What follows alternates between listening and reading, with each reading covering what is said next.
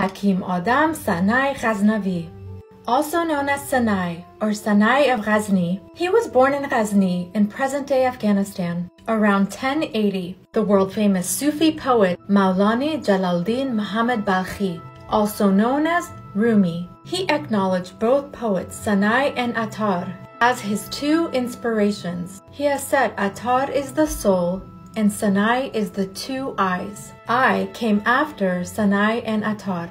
Sanai is the first poet to compose Qasida, Ghazal, and Masnavi in Dari Persian, the official court language of the Turkic Ghaznavids. Sanai wrote an enormous amount of mystical verses, of which his work The Enclosed Garden of Truth, or Hadiqat al-Haqiqah, is his master work the first mystical epic of Sufism. Legend has it that Sanai was originally a court poet under Sultan of Ghazni. One day he was going to the court and he passed by a garden, and in the garden was a drunk named Laikhur. Laikhur criticized Sanai's loyalty and praise for the Sultan. These words affected Sanai greatly. He abandoned his role as a pampered court poet. He even declined marriage to the Sultan's sister and began study with the Sufi master Yusuf Hamdani. Sanai went to a pilgrimage to Mecca, and when he returned, he composed the enclosed Garden of the Truth. Here's a sample of it.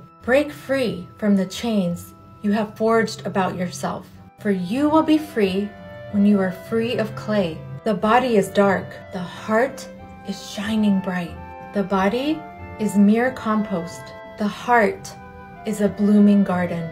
Sanai taught that lust, greed, and emotional excitement stood between humankind and divine knowledge, which was the true reality, haq, and love, or ishq, and a social conscience for him are the foundations of religion. Mankind is asleep, living in a desolate world. There is reference to Sanai's poetry at the end of the 2017 Academy Award winning film, The Shape of Water by Guillermo del Toro.